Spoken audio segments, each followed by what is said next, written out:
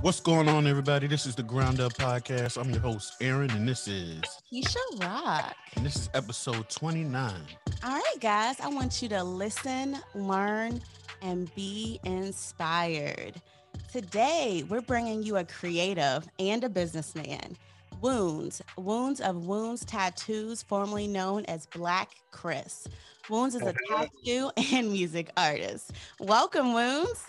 What's up? What's up? What's up? What's up? I am so excited to have you on the podcast. I've been following you on on your platforms, and you are it. yeah, you are you entertain me. you really right. do. Well, you know, some people put here for the entertainment, so that's what I'm here to do. Make people smile and entertain some motherfuckers. You know what I mean? Well, we love it. We love it. I love your energy. And I was like, we got to get him on the podcast. Right. I was definitely excited. Sorry it took me so long to get it together. I'd be just like, Look, life, life. So give us a little background. Tell us, you know, where you're from. Are you Richmond native? yeah, I'm from I'm from here. I'm from the West End area, like Byrd Park area, kinda. So I went to TJ, uh, Thomas Jefferson High School and stuff like that. Yeah, we, were, we, graduated were from rivals, there. we were rivals, I understand. Where you went? Where you went? Damn.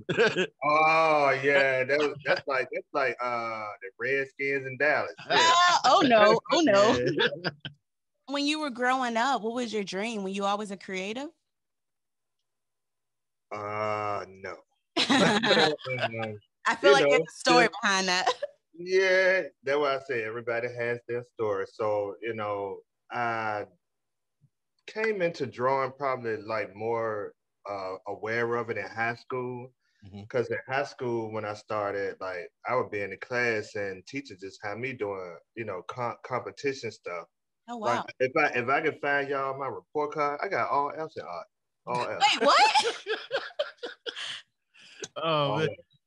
So the art came running in, and then people, you know, of course, back in that time, everybody was doing shoes and the coats and airbrushing and this and that and third. So I was one of them dudes, you know, I made a way through that, but I was just in the other side of things too. So, you know, I, I was more pulled that way. Okay, well, what do you mean by the other side of things? Let's keep it real on the Ground Up podcast. Selling drugs. Okay, okay. If that's what it is, that's what it is. Right, that's what it is. And then like my neighborhood, it was just a neighborhood, you know, like I told you, I'm, I'm in Byrd Park.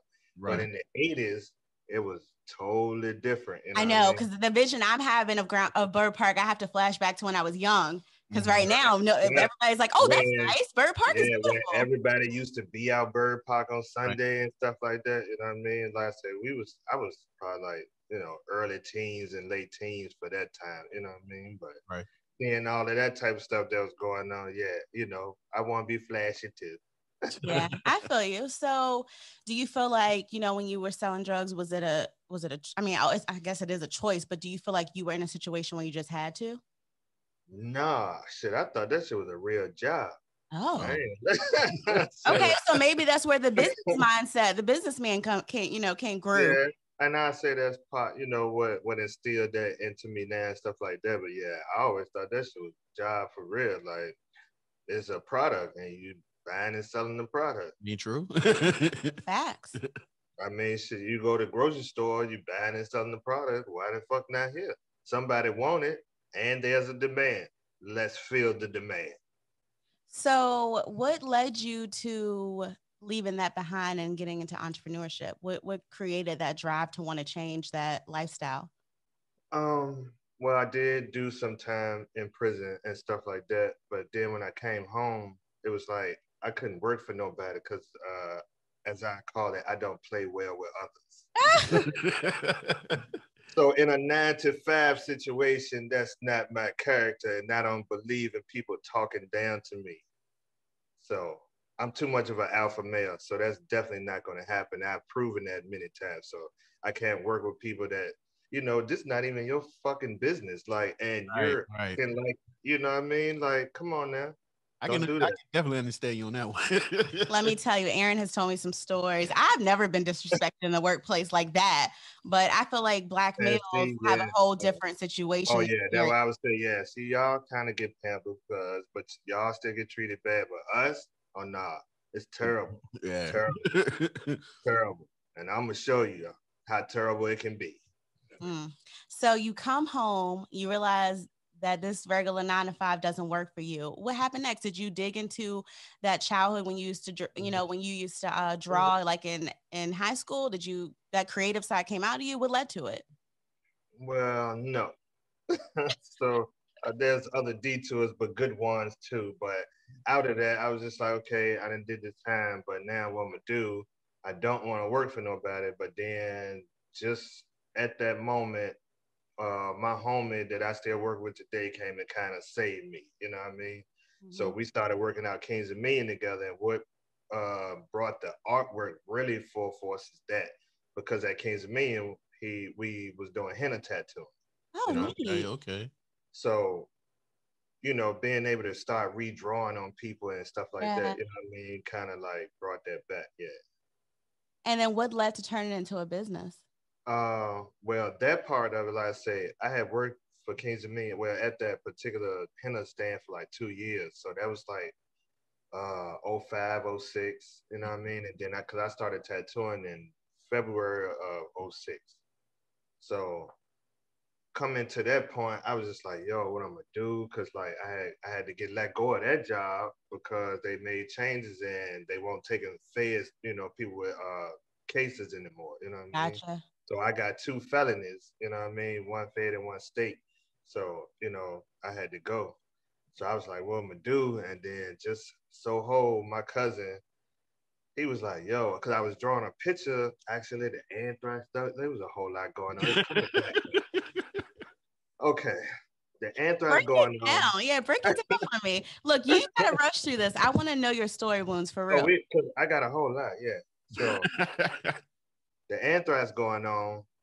Somebody from DC called me and was like, they need portraits of these people that passed. So I'm doing that. And my cousin say, won't you tattoo? I cussed him the fuck out. I was like, nigga, no, I'm not doing that. Like scanning paper, two different things. Three months later, I'm doing it. Oh, so wow.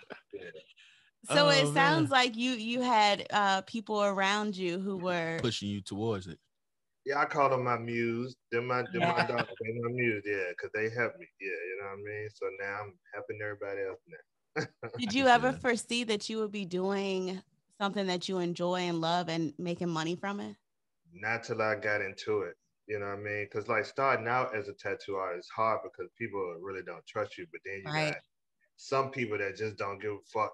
You know Right, I mean? right, right, right. So- It was it was trying to figure out where I wanted to be in those situations. Then going to like actual shops and stuff like that, being a black man Mhm. and looking these people in the face with an awesome portfolio and telling me, no, we ain't doing, we ain't done it. We ain't, you know what I mean? That old type of shunning away shit. Yeah. Right. So then I started connecting with the underground people and seeing how they operated. Then I was like, I fuck with that, but I don't at the same time. So I wanted to bridge both gaps to where when you come to me, you get the atmosphere, you get the great price, the great work, and everything in one. You know what I mean? So Yeah. you ain't gotta worry about nothing. You know what I mean? Your own personal time, all that stuff. Nice. So that's why they love me. they love some Woundz, huh? yeah. All right, Woundz. So last night, actually, this is the second time I watched it. I watched the Quarter Bird music video. Yeah, yeah, yeah. Caught a bird, baby. Yeah, the video is dope. You're right. Whoever, I don't know who your videographer Oh, were. that- that's my home at Davos Productions, baby. Shout out to well, let's, Davos. yeah, shout out to them. Yes. But what I want to talk about is I felt like I learned a lot about you from the lyrics in that song. You're Yeah, telling a lot a of people story. said that too. yeah, yo. you're telling a like, story. "Wow." You're talking about, I mean, you're talking about deep stuff. You're talking about loss. You're talking about jail time. You're talking about how you're you're mental.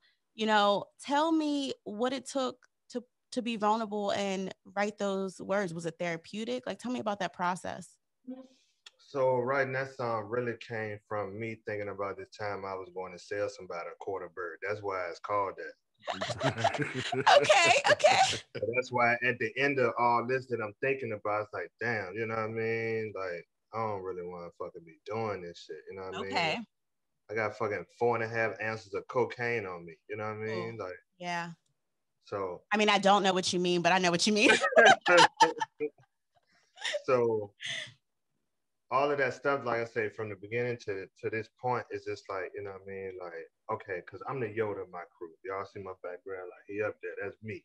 So it's kind of like this switch click. I came into myself and I understood what was going on. Like people die every day. Yes. You mourn them and you have emotions for that person. And, you know, you got to express that, you know, never hold that in. Express that, get that out the way, and then move on. And see, I I figured out how to move on through a whole lot of stuff. You know what I mean? So you know, in this life, it just made me a chameleon, what I call myself, because I'm able to adapt to any situation, you know what I mean, and make it happen. Yeah, I feel you. So, do you feel like um when you put that song out there, like was that therapeutic? Um, me me doing music therapeutic anyway. What I really like about it is like it's the truth. You know, what I mean, everybody spit their truth, and so within my circle, when they hear this, you know, it's like testimony because they know what it is, you know what I mean? Because they've been with me since day one, since the days we they got robbed, all kind of stuff, you know what I mean? Well, let me ask you this. So you said you're the Buddha of your circle. And the Yoda. Yoda. Yoda. Let me correct it. The Yoda of your circle. But to me, that means um, you're a leader, right? So Definitely. since you've changed your lifestyle, have you brought others with you? Oh, my whole crew with me. Nice. Oh, yeah, it's it's like my whole crew, we've been together, let's see, maybe like 30, almost 30 plus years. Wow. Okay, okay. Yeah, these my boys since we've been going to the boys club on Robinson Street. Yes. Right, right, right. Yeah, so ain't ain't ain't nobody's added, nobody's changed, nobody's nothing. I love it. I love it. So when you started music, when did you start the whole music thing? Uh, so one of my circle boys, we we when we had like first kind of met up, him and another dude was doing music. So we used to get up and hot box the car, smoking shit. as you know, stuff coming on the radio, they up there rapping. I'm like, yo, what is y'all doing? You know what I mean? And being that I was in, you know, in that life kind of heavy, I knew people, so they was like, "Yeah, we were trying to get with such and such, and he, you know, he ain't fucking with us." And I was like, "Oh, all right." right so right. I told them, you know, like, "No, give me thirty days." So in thirty days, I went and copped a house and bought studio equipment for them. You know what I mean? Okay. And it started from there, and then like just listening to them, it was just like, "Yo, I want to rap too, yo." like, put me on something. You know what I mean? Write right. something for me. So what unlocked it for me was one of one of my homies was like, "Yo, you ain't shit the way you is, my nigga. Just write about pieces of your life." I was like, "Yo, there it is." So I mean, that's dope, man. You went, went and, and bought a studio and, and, put it together yourself. Oh yeah, hell yeah, yeah. Like I'm a, I, I, I make it happen. what's up, man? Like for real. So, do you think that's what's helping you in entrepreneurship? Because I mean, you said basically you got out of jail and you did not want to work for anybody, but there's so many people out there that don't want to work for anybody, but but feel like they have to. What is it about okay, okay, yeah. that made a way? Uh, not to talk ill about it, but I feel like some of these people scared to be who they need to be. Oh, okay.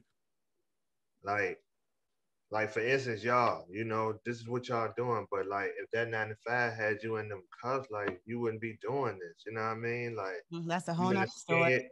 You, you're not scared to be who you want to be. Like it's so many talented people out here, and they just let life, you know, take them down. Cause it's sad to say you gotta have a job, go to college, and all that. No, you don't, bitch.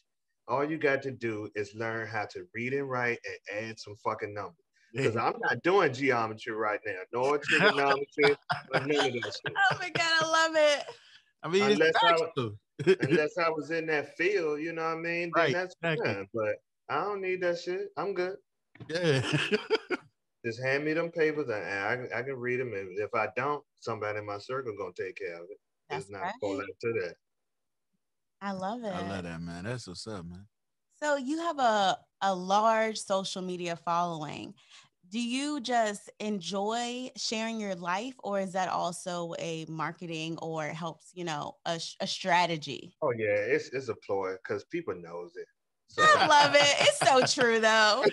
and, it's not, and, it's not, it's not a bad thing. You just know it's it. not a bad thing. No. But that's why these fucking soap operas on channel six and eight still come on at one o'clock. Cause these people is so nosy. They just want to see what somebody else's life is like. You know what I mean? Right.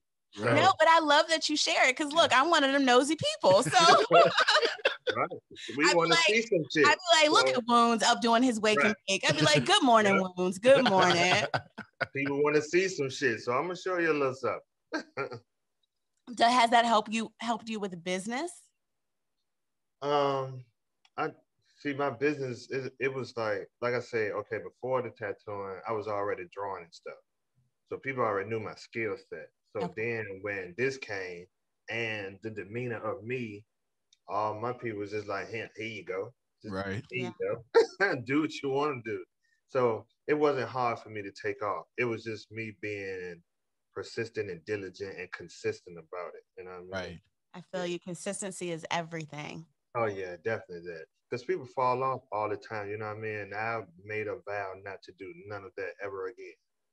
I'm going to ask you, what does keep you motivated? Because when you are entrepreneur, when you're responsible for making, you know, your own money, it has to be a level of motivation that keeps you going, other than just having to pay the bills, right?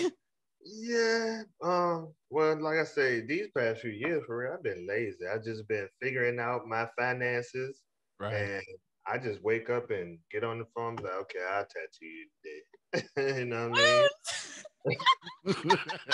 so, he said, "I'm living." Sorry, people. Sorry, people. I know y'all be trying to get me, but I'm lazy as fuck. I ain't gonna lie. All right, tell me, tell me, what is day to day like? How many tattoos are you doing a day, or how often? How many days a week are you working?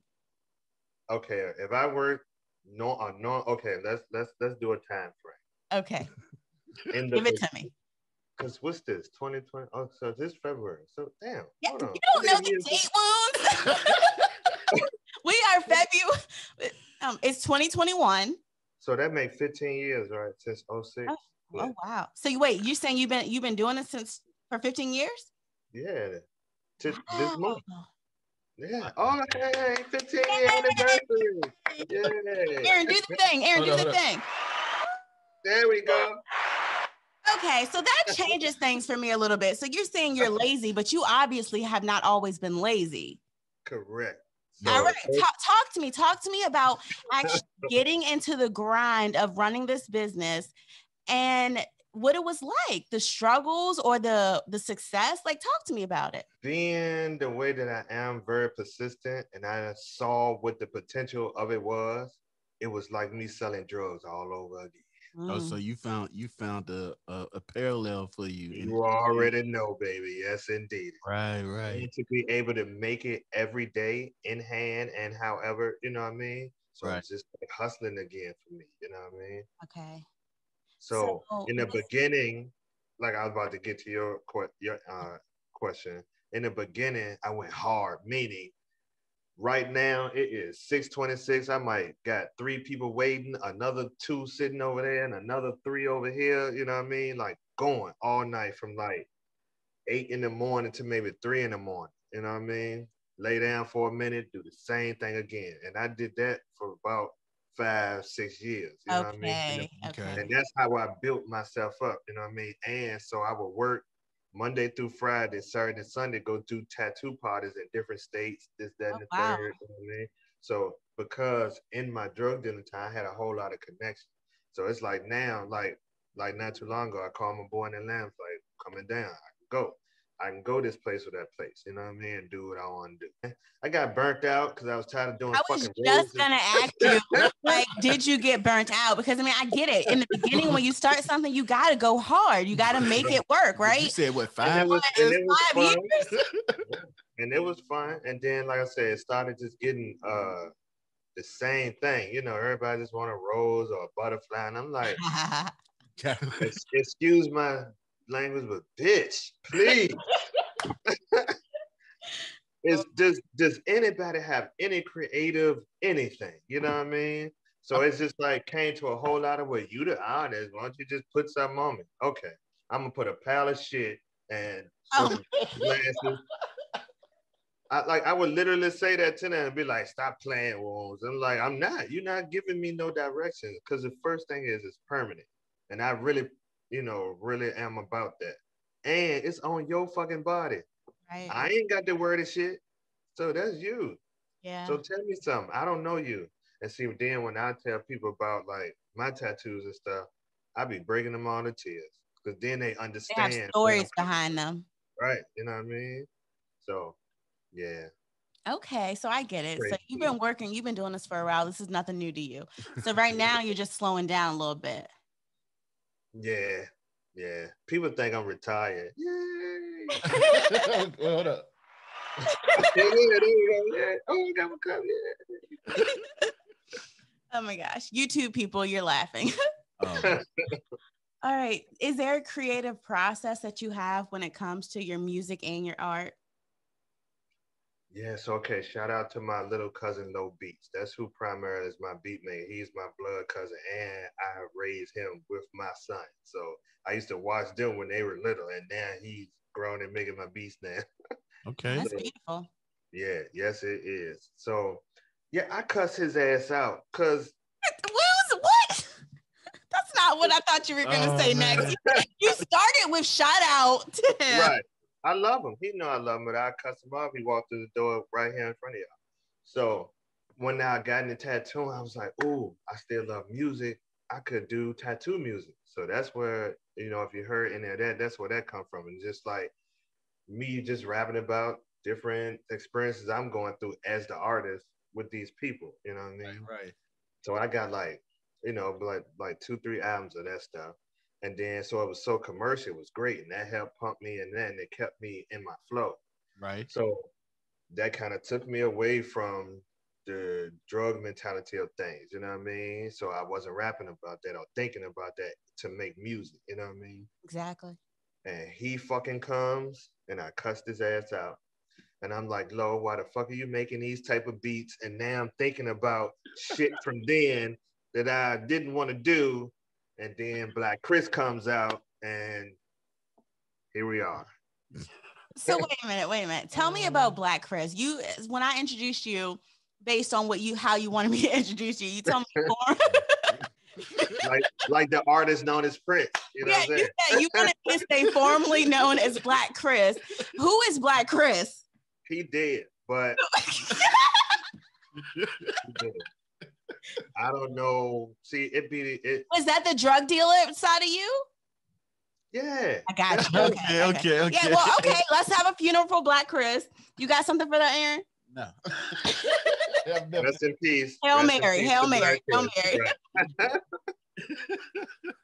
oh man, that was funny. No, but I I I fuck I fucks with Woundz. I understand Black Chris. Yeah, see, there you go. You got me cussing. My mama told me to stop cussing on the podcast. I can't do that again. And see, I've been I've been with an aunt that helped raise me, and that's all she did was cuss. So I don't, it's like, and it's just a you know. That's what my dad talking. was. He he cussed for love. right? Love. Yeah. It ain't out of disrespect to none. You know, fuck y'all. so um, let me get back to your story. Let me get back to your story. Tell me, tell me though, what how would you like if you look over the last 15 years since you started doing this, since you started being a tattoo artist, working for yourself, since you started creating music, how do you reflect on that time? Like when you look back and you think about where you are today, what is your give me a synopsis? Like how do you feel about everything? I am extremely elated to be sitting right here talking to y'all, being able to wake up in the morning, because you know, I've had, you know, many death experiences, you know what I mean? Then going through the heart surgery thing, I had a, a dad on the table then. So it's a whole lot.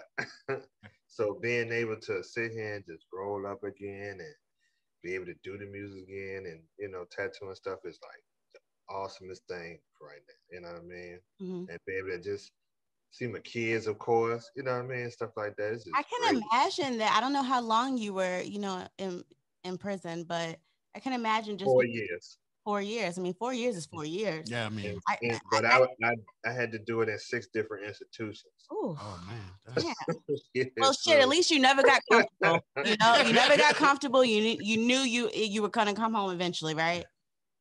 Well, see, it wasn't even that. It's just because you're in prison, right? Where else they gonna take you? So I did what I wanted to do. Right. I understand. You did what you had to do to to get through it. No, I did what I wanted to do. So I might have. I'm trying to so, it up a little bit. Once is like, nope, so, nope, know, don't make it pretty. Don't make it pretty. nah, you know, so I have been transferred, you know, through this, and then some, you know, a couple of my cases have transferred me to different places, and stuff like that. You know what I mean? So yeah, it's crazy. But what I'm saying, what what I what, what I started off with saying is that I can imagine that when you wake up every day, you said how it feels good to wake up every day, but to wake up every day in your own and being oh, free. Yes. Oh yes. That's a, that that's is, type, that's the type of gratitude that we we all take for granted. Who's never had to wake up somewhere else where we don't want to be. Right. Right. And that's why I understand like all of that because I didn't. It seems like I've been in most of the, almost every situation that you know a man, a black man could possibly be in. You know what I mean? Right. And to have this opportunity to be able to do this and then the way that I am spread it back like I want to is just crazy, baby. crazy. Mm, I love it. Tell me about that though. You said spread it back. Do you mean how you brought along like your crew with you? Yeah, cause like my crew, if you hear some of my music, most of like the backgrounds and stuff is all of them. Like we do nothing from the outside. Like we have my sisters that sing, my brothers that sing, some of them rap. They also make the music. Like I have a whole collective, you know what I mean? So That's it's beautiful. Crazy. Definitely. And then it's just coming out so well now, you know, being I'm older, but it's just like I'm about to bring that trap therapy back. You understand what I mean? okay. All right. I, I believe most people who are, I believe most people, I'm gonna say I use I usually say most entrepreneurs, but I believe at this point where we are today, most people think about their legacy. How do you want to be remembered? Like money. Ooh, okay. Dollar dollar bill, y'all. So every day we still got Benjamin, Franklin, all them in our pocket. We still that's how they be remembered. So I'm gonna be remembered like money because I'm on your skin forever till you turn to dust. Okay. Ooh. Okay. Truth. And I got kids, and all of me. Do, do you feel like doing what you want to do to make money is leaving an impression on them? Do they understand? Do they understand? All six of my kids hustle. Okay. Mm. My oldest son has his own carpentry business. Yes. My daughter has her own makeup business. My other son, he's in school at Norfolk State. My other daughter is taking my marine biology and ODU. Wow. My other son, oh, do I got his stuff in here? Yeah, hold on one second. Yeah, show us. No, and then my, and then my other son, he draws too. So he oh painted this. Goodness. Oh, that's sick. I his love art, it. Yeah, his artwork is crazy. And then my other daughter, she started her own little lip gloss business. Okay, so you are raising little black. You got little, some black excellence over there going. That's a that's right. that's right. I love it. I absolutely love it. Because they're gonna take care of me in a few years. I ain't doing nothing. It's hey, like hey, that's how I feel about KJ. I'm I'm putting him on. I mean, he young right now, but when I when he get up there, he gonna have his own. He gonna he gonna be like, yeah, I got you, pops. Like you know what I'm saying. And there I say, like my circle, we, you know, we have to send the kids to school and boy, it's COVID right now, but you know, in the typical sense, but you know, my circle, we teach our kids and we bring them around and like talk to them like they're little niggas, like keep it real with them so they understand like you gotta be both of them people, you know what I mean? Right. Play the rules here and then know how to maneuver here. It's facts. Yeah, it's facts. Um, What's the number one takeaway you want the listeners to take from your journey? Please be yourself. I was just about to say, I would say, do what you want, y'all. right. Just please be yourself. I wish some of these talented people, like, we could take over these talented people come out, man. What do you think it is? The fear? Oh, yeah. So, in, in, a, in, in my, my theory, for real, for real, is black people since okay, for one, we have to use slavery, but Malcolm X and Martin Luther King, two prominent black men, regardless of what was going on, but they were speakers and people followed them as if they were gods. I would say, I'm just use that word. But when you take them two off the pedestal, they dumbed us down. So that was in the 50s and 60s. And then in the 70s, you give us Heron. Word. So nobody has no fight in them no more to me. You know what I mean? I, I understand. Look, trust me. I, I I can go through that that same whole thing with you because I'm I'm I'm I'm with that. I I study all that stuff. I tell her about all that stuff all the time. Yeah. So I feel you on that. Yeah, I mean, and then everybody didn't want to, you know, then they got that war going on. Then here come the 80s, and now here come crack. Yep. To bring it down even more. You know what I mean? So, So you feel uh, like drugs? I mean, I, I I mean, I already know the answer to this, but I'm gonna, I'm gonna get your perspective. But do you feel like drugs has taken away from our community, from the black community? Oh, definitely, yeah. You know, and and I and it was the you know the people's plan. You know what I mean? Yeah. Like this whole this whole 50 states ain't nothing but a project. You know what I mean? We're gonna see what we can do over here, see what we can do over here. They ain't doing nothing but playing with us, you know what I mean? So I Right. said, okay, if y'all want to play the Matrix, I'm gonna take the green pill instead of the blue and red, and I'm gonna be in both of these bitches. okay. You feel good that you're on the other side of that, meaning like you're not selling anymore. You're an owner now. You're a businessman. Oh yeah, cause I could just walk out the door. I ain't gotta worry about nothing. You know what I mean? Like, real for it. You know what I mean? And then like, you know, there's reality. Somebody might want feel like want to rob you, this and third, but I, I ain't I've been through so much, I don't give a fuck about none of that shit. Like if it's that time for that to happen, it's that time. But my energy too strong for it to even bring that in my radius to happen. You know what I Right, mean? right, right. Woundz, you are a unique, unique, unique, beautiful person. thank you, thank you. You ready for the game? Let's play a game. All right, we're gonna play Would You Rather This or That? Would you rather win $1 million or earn $1 million?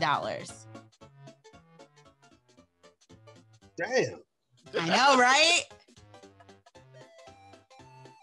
Because I'm lazy, so I think I want to win it. Look, look, look, Aaron said earn, y'all. I said win. Next one Taco Tuesday or Wing Wednesday?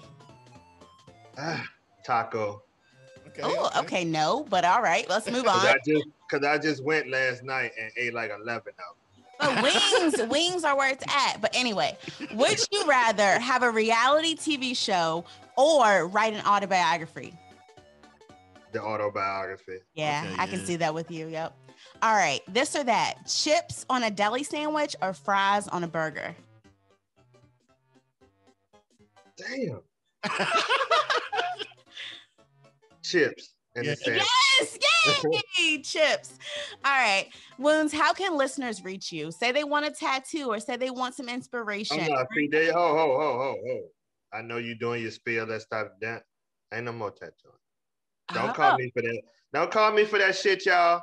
We're not doing that. Just call me and say hello. Say you got some chips and a sandwich for me or something. okay. well, um, well, guys, I think y'all should just go follow Woundz on Instagram. Uh, and YouTube and go check out Quarterbird video. Oh, and I got two more videos about to come. They being done both right now. So we just finished shooting them. One called Drugs.